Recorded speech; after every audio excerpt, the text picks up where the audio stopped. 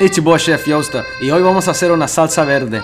Here I'm using 10 jalapenos, I got 4 tomatillos, some cebolla, 2 habaneros, and some cilantro.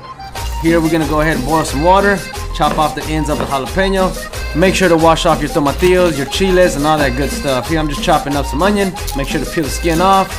Slap your meat, cut it down to small pieces. We're gonna chunk our jalapenos in, cook this for 8 minutes. After 8 minutes, we're gonna drop in our tomatillos for 4 minutes. I got 4 garlic cloves, half an onion, 1 habanero, your tomatillos back in, handful of cilantro, and that same water. 1 teaspoon of chicken bouillon, and pepper to your liking. Go ahead and mix. We're gonna drop in our jalapenos and mix it up. Oil and pan, we're gonna drop in our meat, toss it up and cook it all the way through.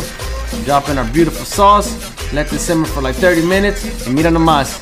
That's how you make this beautiful salsa verde.